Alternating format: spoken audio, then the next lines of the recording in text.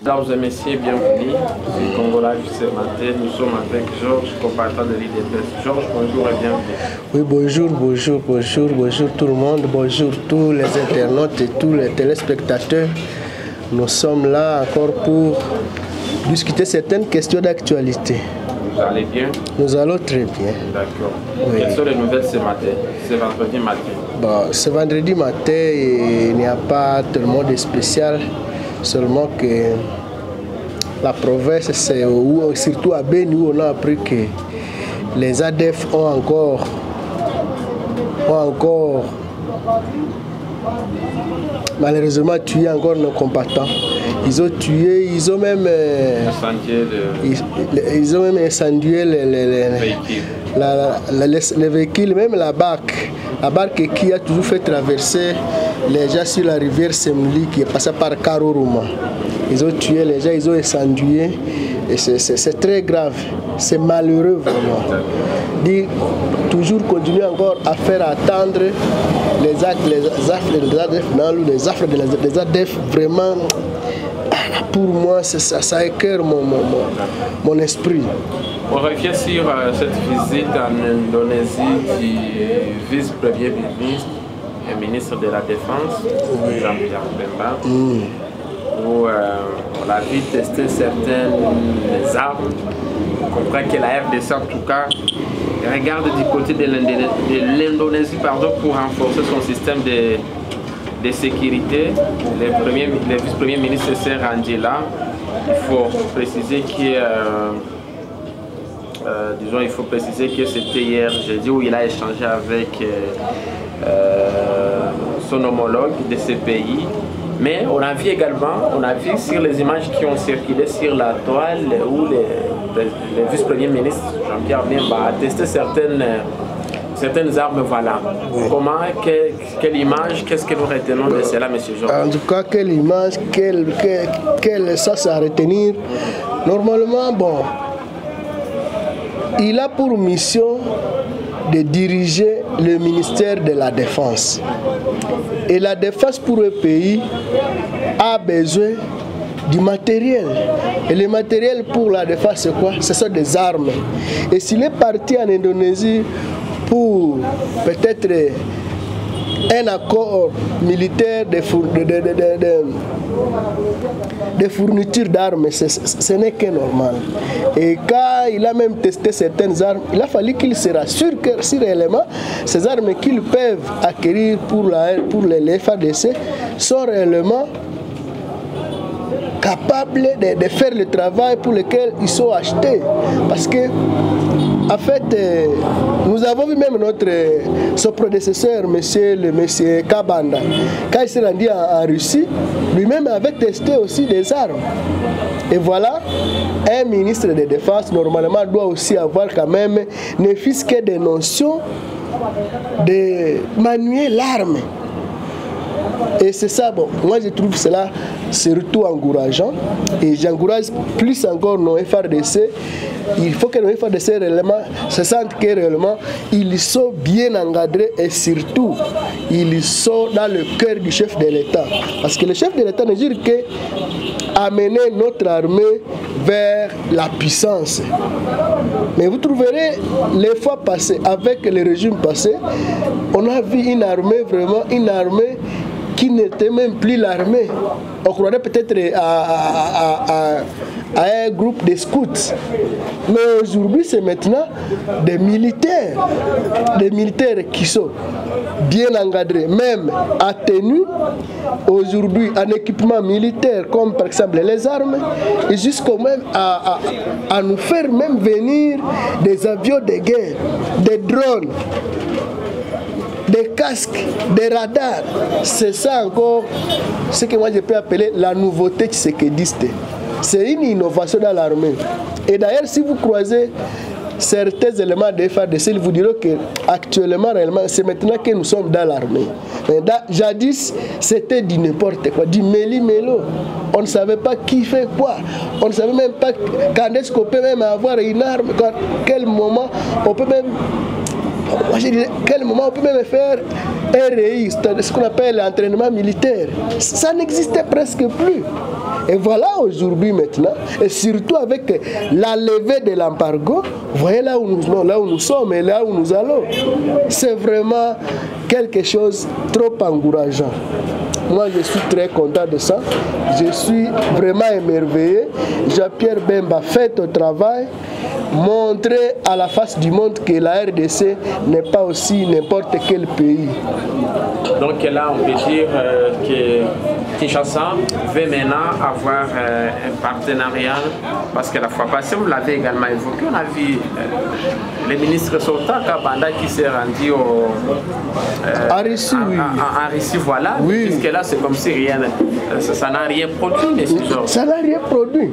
Mais avec les secours que nous avons, avec euh, ces, ces- ces- ces drones que nous avons, avec tout cet, euh, cet équipement neuf pour l'armée, c'est à partir de, ces- de cette acquisition, de cette fourniture, je pense que Kabanda a fait quand même ce travail. Il a quand même fait quelque chose de bien parce que c'est sous son mandat, c'est sous son règne que les FRDC n'ont pas, ont été capables quand même d'engloutir les, les M23 dans un petit coin de Rutshuru pendant toute une, une année et six mois. C'est-à-dire qu'il y avait quand même un armement, quand même quelque chose qui devait empêcher l'ennemi à, se, balader comme il voulait. Mais comme il y avait déjà un équipement suffisant, comme il y avait quand même un travail déjà amorcé, le M23 n'a pas été capable même de quitter le territoire de Massissi vers le Walikale, vers même le Lubero. Donc ils ont été coincés parce qu'il y avait un armement bien bien organisé, un armement peut-être bien acquis et surtout une organisation à l'interne même de l'armée qui devait faire face à cette foudroyante de- du Rwanda. Nous avons vu le Rwanda être défié, chaque jour crier, oh, voyez, non. À Massis par exemple, à Kichanga. La cité de Kichanga a fait presque deux mois sans que l'ennemi ne puisse pénétrer là-bas. C'est parce qu'il y a eu peut-être complicité avec nos FRDC que Kichanga avait, avait tombé sous la, joue de l'ennemi. Mais réellement, il y avait quand même un engagement au niveau du gouvernement. Et aujourd'hui, vous avez vu comment on a défié les, les M23 à partir de Sac. Vraiment, les M23 n'oubliera jamais Sac. C'était pas. À Sac. Mon frère, c'était le jour le plus mauvais du M23. À Sac, c'était samedi, dimanche, du mois de, du mois de, de- de mars. C'était grave vers la fin du mois de mars, le M23 qui a connu une très lourde perte et qui a même été obligé de fuir les montagnes de Sac pour re- retourner vers le parc, vers Karenga, vers Kibumba là-bas. Parce qu'il y a eu quoi? Il y a eu réellement une riposte la plus sanglante. Mais on, on revient sur les propos qu'a tenu le président Tshisekedi euh, sur euh, l'EAC, cette organisation vraiment a farouchement aussi euh, répondu au président Tshisekedi. A par exemple son secrétaire général qui a dit, je cite, dire que la force régionale ne fait rien en si peu de temps, ce n'est pas juste, a déclaré le secrétaire général de l'EAC. Yo, à qu'il accepte d'abord la honte? Dans si peu de temps pour une armée, même une journée, c'est beaucoup de temps. Comment une armée régionale, pendant six mois, elle est incapable de, de- de- de déloger une petite rébellion vraiment, il, honte pour lui. Il est malheureux d'ailleurs, je peux le dire. Comment il dit à si peu de temps N'est-ce pas qu'il il avait déjà un mandat de six mois? Et les six mois sont déjà écoulés. Et pendant six mois, il n'a pas su réellement déloger le 1-23 dans le territoire de Routour. Et il se dit à, si peu de temps, il a c'est vraiment gratuit qu'on lui colle d'un échec. Mais, mon Dieu, ce pays, et surtout les Africains, les Africains, c'est comme si ils ont une dose de, une dose de, sous-hommes. Lui ne voit pas que, si on lui disait par exemple, qu'il vive, qu'il vive, avec, qu'il vive avec un rebelle pendant même deux jours, est-ce qu'il peut, il peut, peut accepter?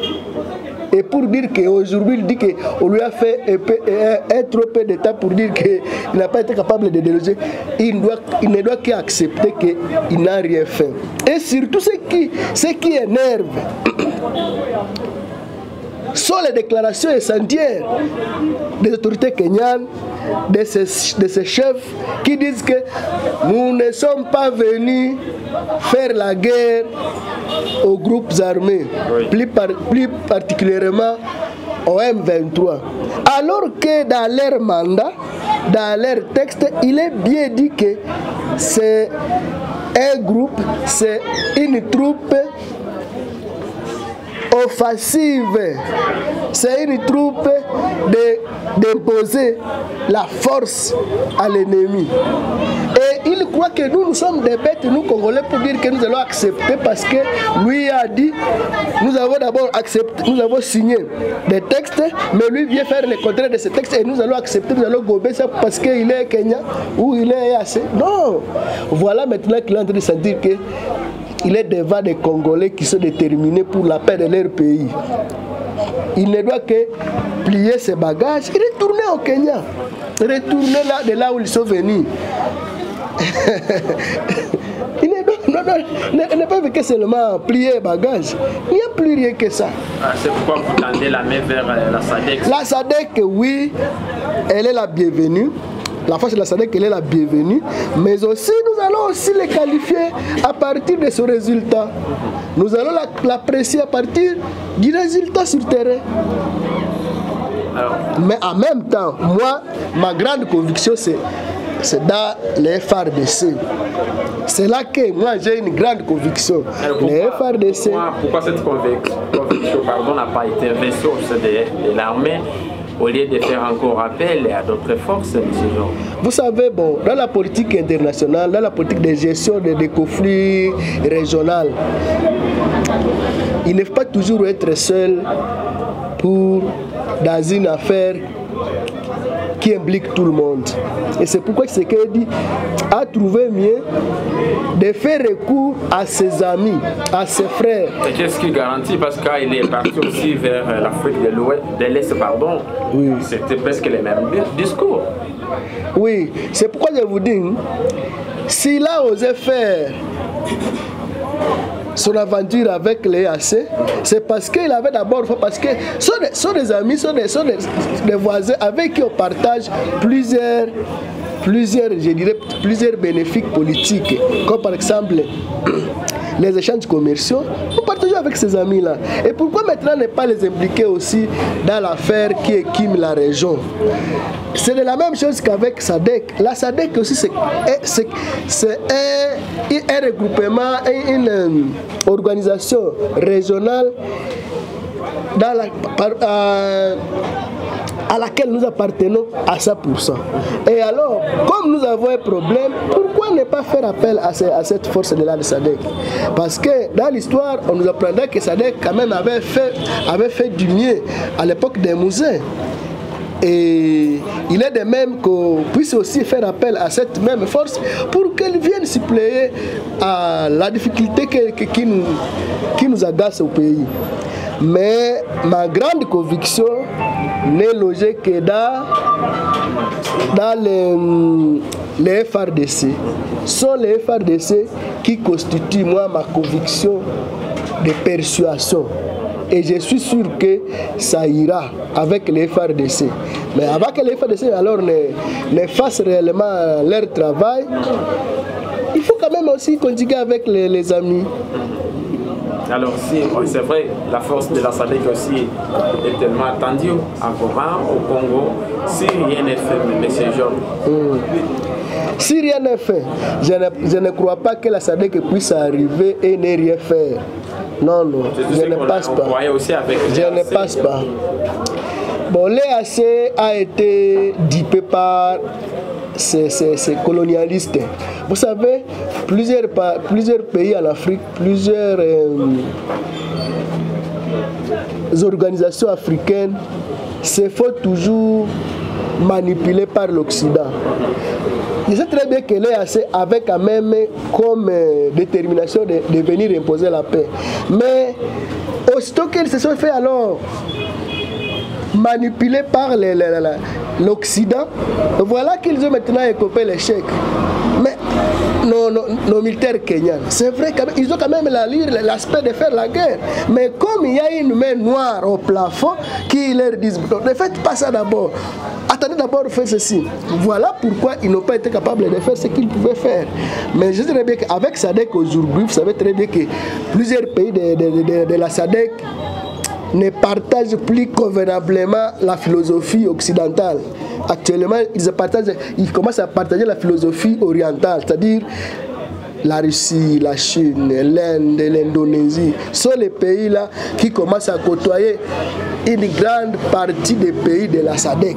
Et voilà pourquoi moi j'ai dit SADC pourra faire quelque chose de très différent par rapport à l'EAC. Donc là, vous espérez quelque chose de changement. Effectivement. C'est-à-dire, on, on s'attend déjà au changement. Et si vous voyez de près, les Rwandais commencent même déjà à crier que non, vous voyez, si on a, on a mené SADC, moi aussi je vais directement attaquer Goma. Bon, on dit, bon, comme vous voulez. Nous ne sommes pas, nous ne sommes pas partis prendre recours au SADC pour attaquer les Rwandais. Non, c'est pour attaquer les M23 et consorts qui équiment la paix en RDC. Il faut également préciser, la, la- la- parmi les pays qui font partie de la SADC, y a également la- l'Afrique du Sud. S'il faut euh, rappeler cela, l'Afrique du Sud aujourd'hui, qu'on a, que les Européens accusent d'avoir livré des armes à la Russie, selon l'ambassadeur des États-Unis. Je, l'ai- appris ce matin. suffit, ça, ça fait Je l'ai- je- je l'ai appris ce matin à la RFI dire que les États-Unis commencent à accuser l'Afrique du Sud d'avoir livré des armes à la Russie. Et pourtant, lui, États-Unis, a toujours livré des armes à l'Ukraine. C'est un pays, Et, et- et c'est- cela ne se passe comme ça. c'est un pays agresseur. La Russie, c'est un pays qui est à guerre. On reconnaît un vrai ami lors d'une difficulté. La Russie est en difficulté avec l'Ukraine. Et pourquoi ses amis ne puissent pas alors venir à guerre Et dernièrement, la Chine a donné des armes. Pourquoi on n'a pas dit Ah, nous avons vu la Chine aussi livrer des armes à la Russie? Ça, c'est du n'importe quoi.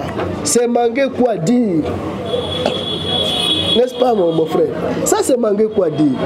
Et surtout, vous savez, là où j'ai... Les Européens, les Américains s'agitent comme ça? Parce que la proie, donc, la cagnotte est en train de, de fuir.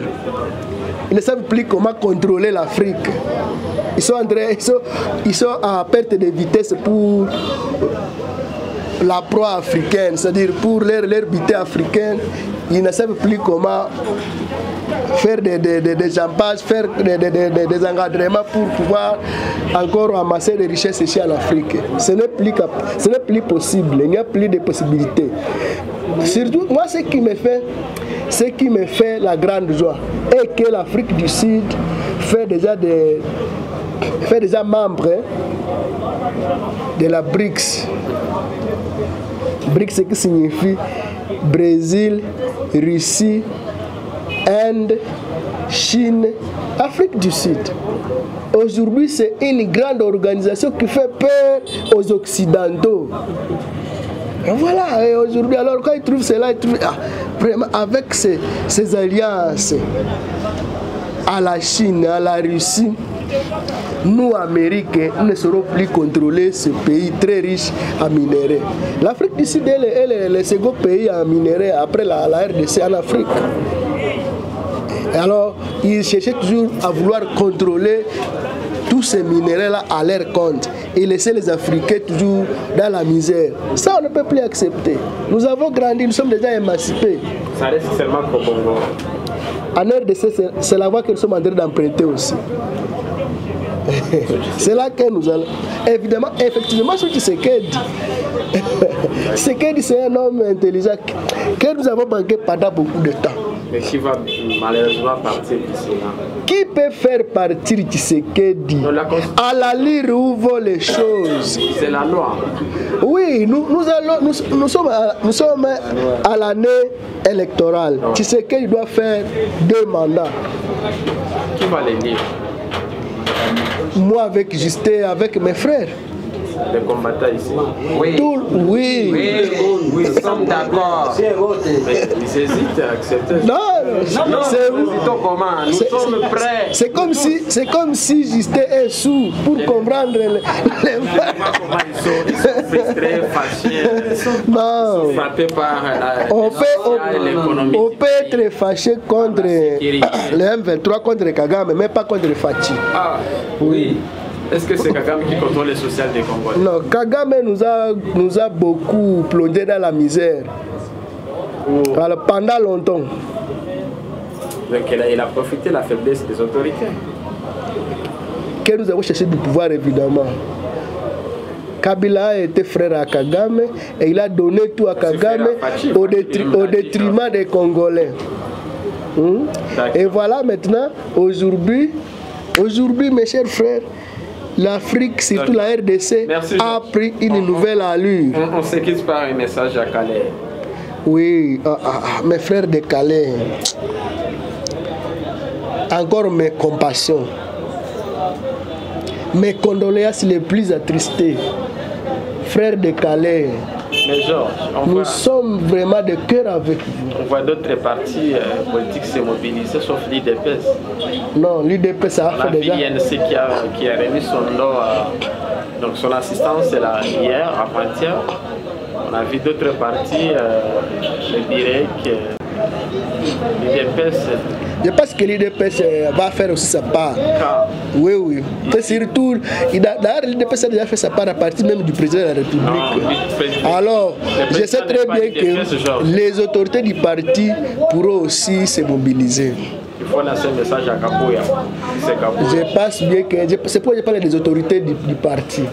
notamment Kabouya. Les Kabouya et les Oï Kossor. Il n'est pas seul. Effectivement. Les saluer. Ah ouais, bah, je te salue. Quand tu vas me lire, je sais très bien que tu vas me lire, tu vas me suivre. Wemba Katina Kilimani. L'homme-.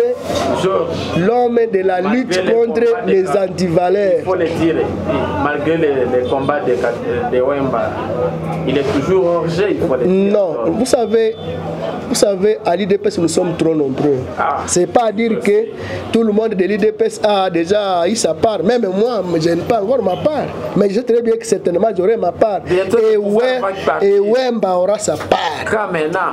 Il en aura. ah, Je sais très bien. D'ici là. merci. Oui, oui. On se on se retrouve demain. Effectivement. Bye bye, bon week-end. Bye. Merci.